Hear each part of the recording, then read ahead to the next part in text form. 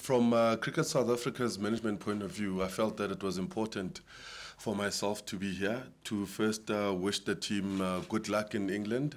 Um, all the best for the coming uh, tours as well as the series. Um, um, I think also it's important for me to be here to further emphasize the support that I think Cricket South Africa needs to start uh, giving as far as the momentum Protea ladies is concerned.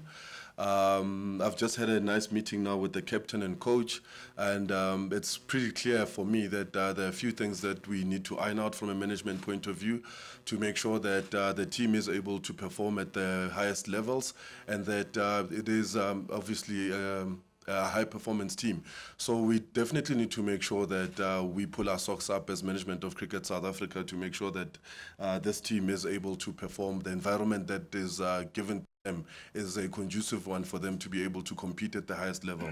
So um, without uh, saying too much, I just wanted to wish Dané and the ladies uh, good luck with the, um, uh, the, the, tour and that uh, hopefully I'll be able to make some time as well and go visit them in London, in England rather, uh, and watch uh, one or two of their matches and give support. I think when you look at skill-wise, what we have in the squad and talent, I would say yes. We, the players as the team itself, is in the should be in the top three of world cricket, and we all believed it. And even if you speak to any to players in in different occasions, they'll tell you we actually should be doing better than what we're doing as a team, and that we've realized. I think uh, from the World Cup onwards, I think uh, most of the players realize that now. It's not a thing of now we're going there, and it's a thing of we can see what we can do and and learn what we can. It's a thing that we need to make sure now we start uh, improving on our rankings. And by doing that is to taking on teams like uh, England, New Zealand, Australia, which has been the leading uh, teams in world cricket. So for us as a brand, yes, we're growing, moving in the right direction, but uh, we need to start winning those kind of series now. I think there's no great opportunity now like the one we're embarking on uh, in England. And uh, I think um, all of us know what happened in the last match when the two teams met and I think it's for us now to make, go there and see now how we can uh, change it and making sure that we in the uh, happier change room now when we come back from the store.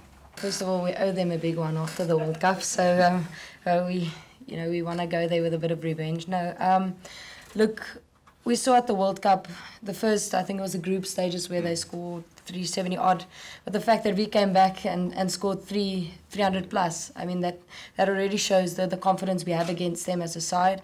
We we never had because we never did these things and then we got to the semi final and you know from the position they were in and we were in to get it that close that again shows shows what we have in the side and the confidence we have playing them. Um, it is not any more a learning experience. We've played more ODI cricket than any other country I think last year um, if if I'm not mistaken but um, so there's no more that we're not playing enough cricket uh, we need to learn we need to figure out stuff. It's not that we're going there to compete and, and to win a series. Um, you know, the big picture is the World Cup at the end of the day, but um, we still need to get points and, and definitely not go, go qualify for the World Cup again. As far as the salaries and uh, revenues are concerned, I mean, as I've said, these are things that we are talking to SACA about now. So if the MOU gets um, signed tomorrow, then I guess that's a, the, the, the thinking is in effect tomorrow. So as soon as we can sign the MOU, then uh, some of the thinking will be affected um, uh, that that immediately, and obviously we'll put in plans as well in place to say how do we now further improve on this. Um, one of my beliefs is that we need to have a separate and very specific driven commercial program for ladies.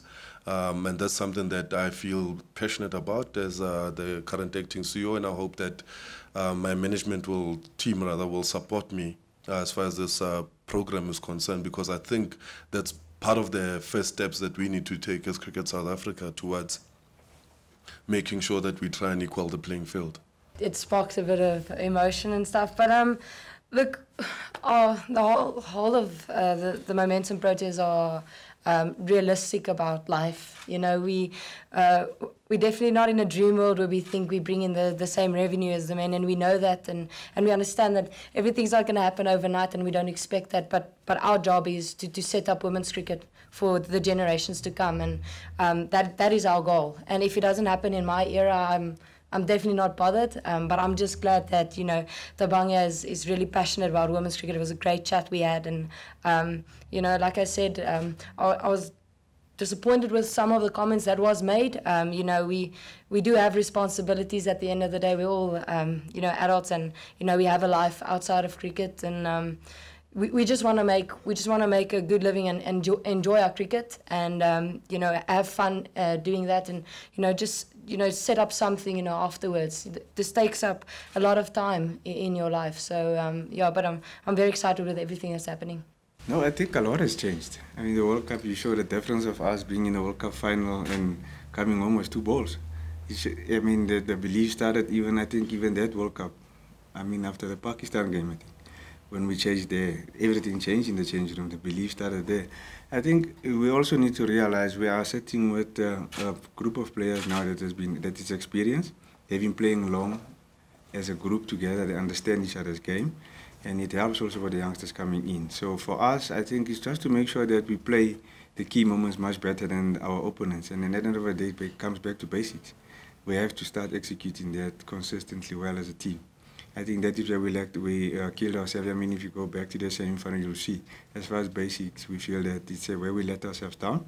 It's something that we can improve against teams like that because they don't give you a gap.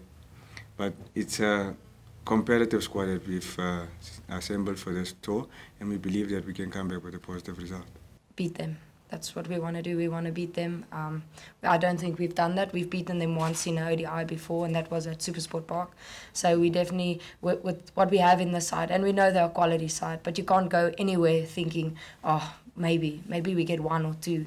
You go there to beat them, you know, and, and you kind of see what's happening on the tour and, and where you're heading. Um, but yeah, uh, like I said at the World Cup, we went to win. We're going there to win, and we're going to the T20 World Cup to win as well.